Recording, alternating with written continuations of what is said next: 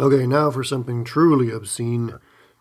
Negative 29 pi over 6. So I need to situate this uh, in my xy plane first of all.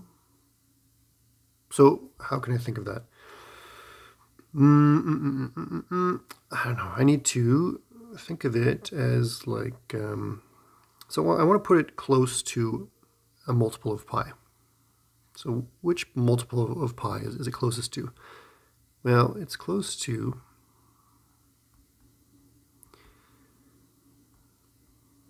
minus 30 pi over 6 plus, uh, plus just 1 pi over 6, right? So I did that because this is minus 5 pi here, very easy to situate. And then I add pi over 6. So I'm going to be able to situate this relatively easy. So minus 5 pi. Okay, let's do this carefully. So I'm starting over here. Maybe I'll get closer to the origin here.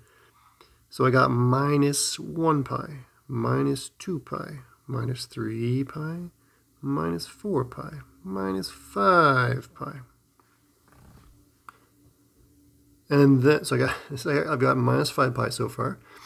And then I'm going to go counterclockwise pi over 6. So then I come back just a little bit this way. So my angle is situated like this sort of, where that angle right there is pi over 6. And then I reflect it back into the first quadrant. So that's pi over 6. So I'm interested in cosine. Nope. Well, I guess I'm, I'm interested in, yeah, I guess I'm interested in cosine pi over 6.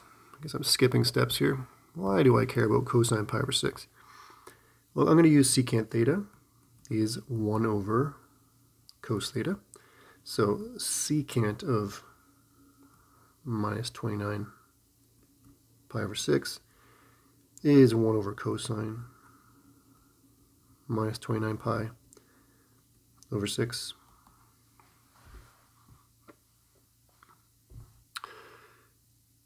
Now my minus 29 pi over 6 is situated down here.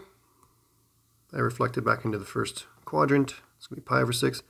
So what I'm going to get here is I'm going to get uh, plus or minus, not sure yet which one it is. It's only one of them. Cosine pi over 6. Now I use my cast rule, C A S T, to tell me that only tangent is positive down here, so cosine is negative.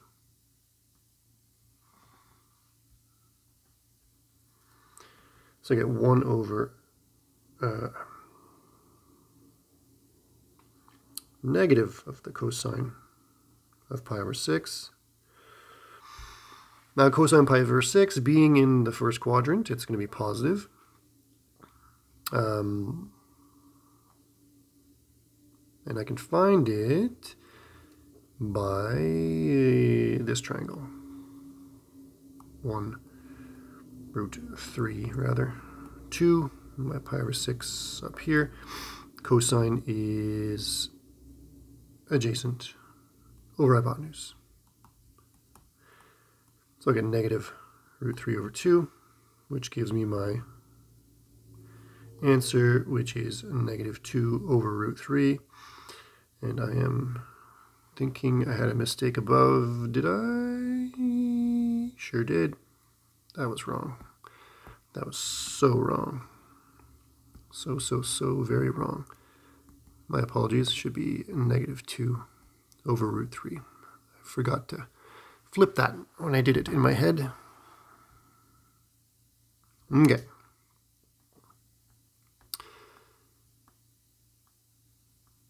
Tan of negative pi over 3 is, well, let's see, negative pi over 3 is down here, uh, negative pi over 3. So if I reflect that into the first quadrant, I get just pi over 3 here. tan of pi over 3 is... Doop, doop, doop, So I'm visualizing my memorized triangle in my head, and what am I getting? I'm getting root 3 over 1. So my angle is down here. I get root 3 over 1 for my tan. So that's just root 3.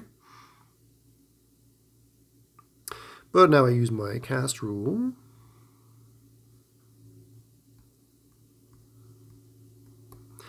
And down here, only cosine is positive, so the tan will be negative.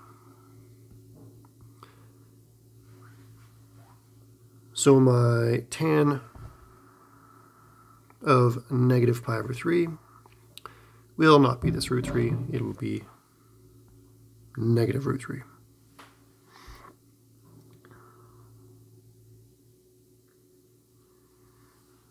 Okay, so we have some things to memorize here. Let me try to find my list of things to memorize. Hopefully this isn't giving you a headache. Oh, there we go.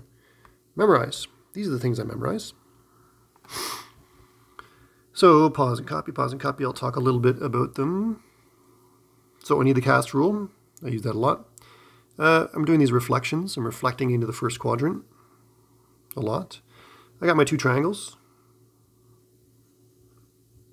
The uh, the one for pi over 4 and the other one for pi over 3 and pi over 6. The reciprocal identities, you know, um, cosecant theta goes with sine theta, secant theta goes with cosine theta, and cotangent theta goes with tan theta.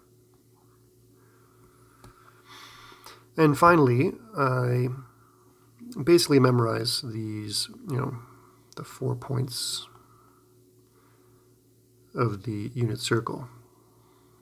So basically have sine, cosine, tan memorized for these four points down here.